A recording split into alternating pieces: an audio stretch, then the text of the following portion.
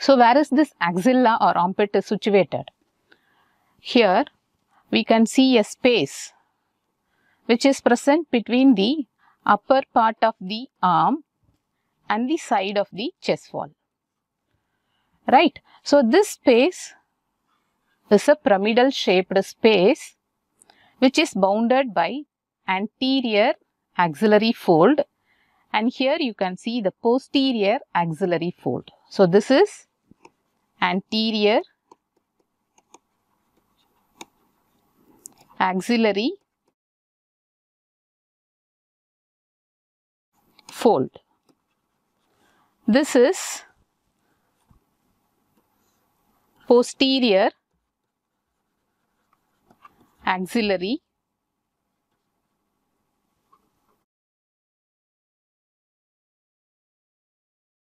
fold.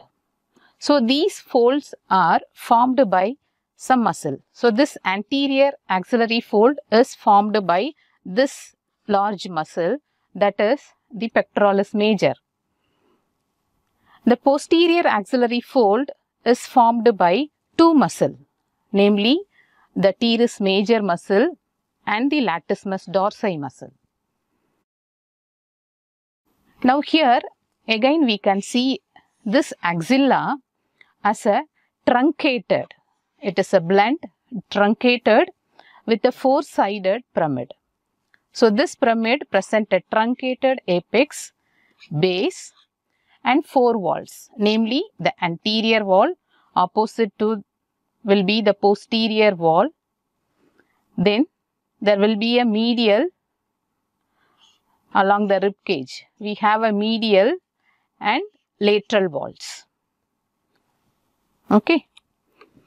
So now we are going to discuss about the boundaries of each boundaries of this axillary region. Like we start with the apex. So if we see this axilla, it is placed obliquely. Can you see this oblique disposition of axilla?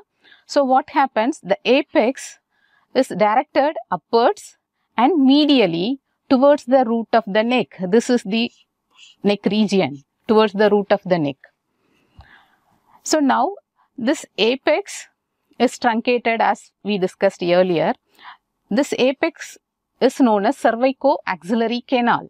It is a passage between the neck that is a cervical region and the axillary region. So it is merely a passage that is known as cervico-axillary canal through which the structure passes from neck region to this axillary region. From the axilla, it reaches the whole upper limb. Okay, so it is the apex of the axilla is like a gateway for upper limb through which the main neurovascular bundle enter into the upper limb. So here we can see again this cervico-axillary canal. This is the cervico-axillary canal. We can see the uh, transverse section or schematic section. So here we can see some bones, right? So this is what bone? This is the clavicle and we can see here the part of scapula and medially we can see the first rib. So now the space, this space is cervico-axillary canal or apex which is bounded in front or anteriorly by the posterior border of clavicle. Behind, it is formed by the superior border of scapula. This is scapula. And medially, we can see the first rib. So, the medial boundary will be the outer border of the first rib. So, this is about the apex of axilla. Apex or otherwise known as cervico-axillary canal which is bounded in front by the clavicle, behind by the scapula and medially by the first rib. Right? Next, we will see about the base or floor of the axilla.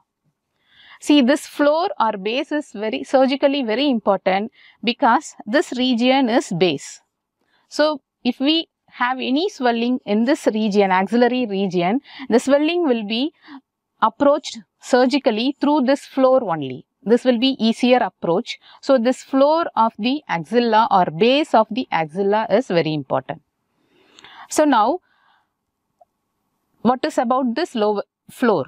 The floor is the lower part of the pyramid. So this is the pyramidal axilla. The lower part is formed by this base.